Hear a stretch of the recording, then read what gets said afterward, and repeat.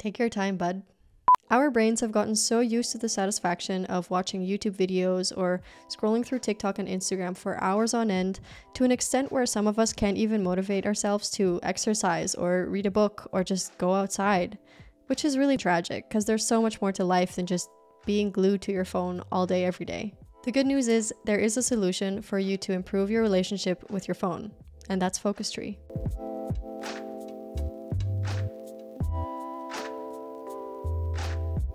Focus Tree offers a gamified approach where you can earn tiles by focusing, and these tiles are part of a garden that you can create with your friends or communities.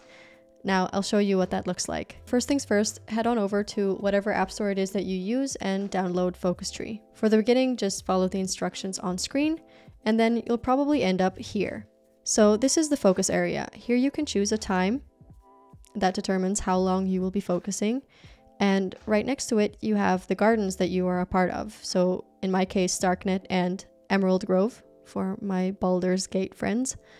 And when you press on edit, you can actually see these gardens. This one's still fairly small, but once you focus, you can collect these tiles that you can see down here, and then you can simply add them to your garden as you wish, and you can create a really cool little world.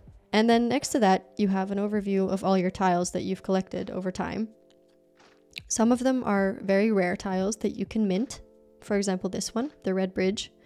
And the cool thing is that they're all part of a theme. So, for example, Vikings or pirates or ancient Egypt and things like that. Then next to it are the leagues. You can join a league once you've invited three or more friends. And then next to that is the airdrop area where you can find information on that. And let's say today I want to focus for 10 more minutes.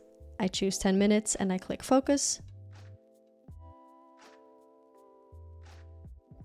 And then once you've finished focusing, you can scratch to reveal your tile and then you can continue. You can see your streak, your points and water levels, and then you can go ahead and add that new tile to your garden. So this is how Focus Tree works. And I hope this reminded you of all your tasks that you've been putting off for weeks. And yeah, what are you waiting for? Download it, focus, get your shit done, and everyone's happy. All right. Thank you very much for tuning in and talk to you soon. Bye.